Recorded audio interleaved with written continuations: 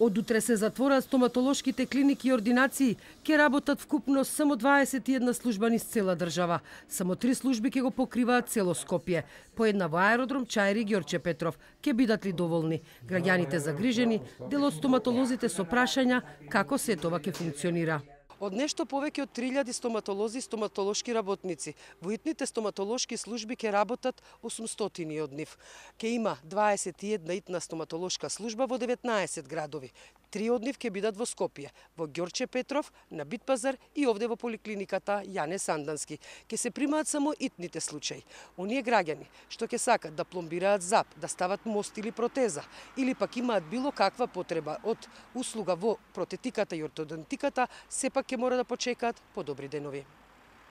Како итни стоматолошки услуги се наведени силната постојана забоболка која не поминува ниту со лекови, акутна инфекција изразена преку отоци, тешко отворање на уста и зголемена телесна температура, поголеми карвавења кои не сопираат повеќе денови, како и скршеници на заби и вилици. Освен во Скопје, вакви служби ќе има и во Охрид, Струга, Гостивар, Липково, Битола, Прилеп, Велес, Неготино, Виница, Струмица, Кавадарци, Радови, Шкичево, Пробиштип, Крива Паланка, Пехчево и Куманово. Во градовите каде што нема услови за работа во вонредни околности во здравствените установи. Работата ќе ја преземат приватните стоматолози. Од страна на Сдруженијето на приватни здравствени стоматолошки институции пак предупредуваат дека може да се случат проблеми во функционирањето.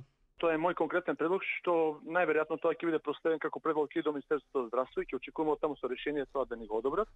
Значи ние ги ставаме сите приоритетни здравствени установи во Кавадрец, тоа е мој предлог, да ги ставаме во интерес на потребите на населението за стоматолошки потреби во Кавадрец. И тоа значи да работиме четири оперативни тима кои ќе бидат опремени со надстандардна опрема во воорна ситуација и со а, дополнително дежурен орален хирург Сите стоматолози кои што нема да работат, ќе бидат должни да бидат на располагање на пациентите преку телефон или електронска комуникација за време на работното време во кое работи ординацијата, но и да бидат подготвени веднаш да се вклучат во системот на итни стоматолошки служби.